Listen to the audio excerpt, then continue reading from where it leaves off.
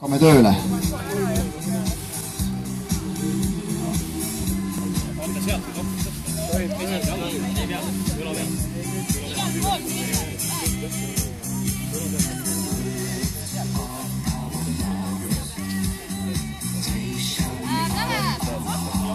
kümme täis. kaasa meelega loomulikult oleme. jalga rohkem töösse, väga hea. Kolmteist peaks olema. käsi sirgu, käsi sirgu, käsi sirgu, seda ma ei saa aru. oi, kolmteist, kolmteist on päris ilus tulemus. loodame, et see on õnne kolmteist ja toob täna õnne. täna oli reede ja kolmteist, õnneks on laupäevaga tegemist, nii et ma usun, et see tähendab, et mingitel muudel aladel. nii, ja järgmine mehepoeg on juba, oh, see, aga jalgadega lahti ei tohi maast tõugata, lepime nii kokku. Jalad peavad jääma kontakti puruga. vot, vot, vot, kohe oligi tulemus käes.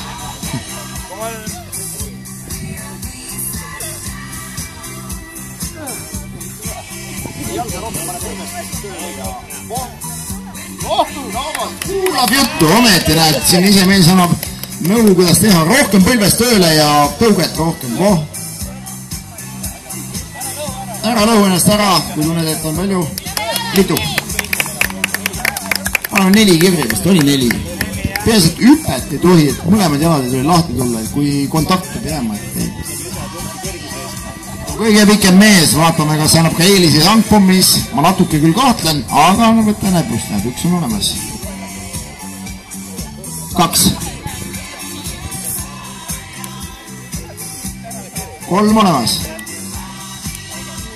neli, väga hea. viis,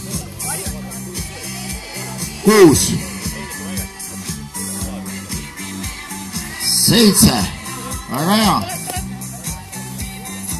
kaheksa, no kümme tuleb ära. kaheksa, tubli Nonii, ja nüüd näitavad Orissaare naised, mis vägenemad täis siin on. kalavõrkude väljatirimine, aerutamine iga päev merele ja tagasi.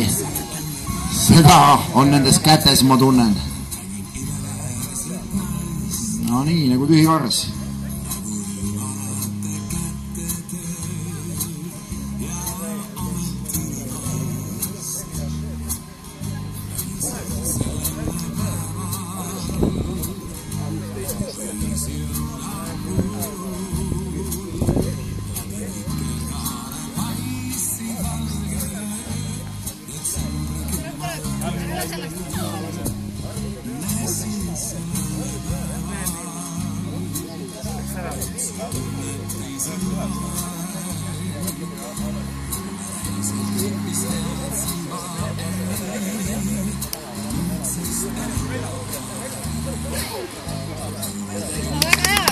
No tubli, kuusteist kordust ja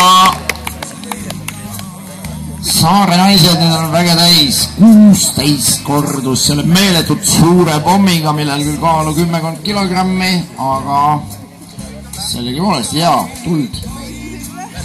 Issand, üks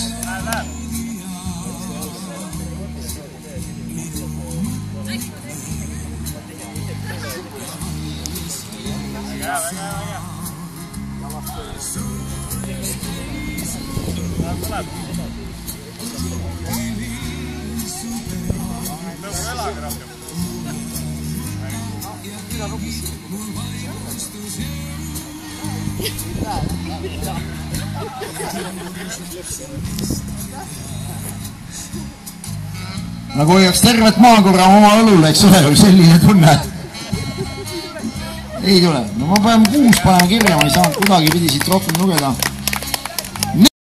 Kordust ootab üle tegemist ja järgmisena ma paluksin võistlust tulla siis Spordiakadeemia eesotsas nende kapteni Kahur Viisiga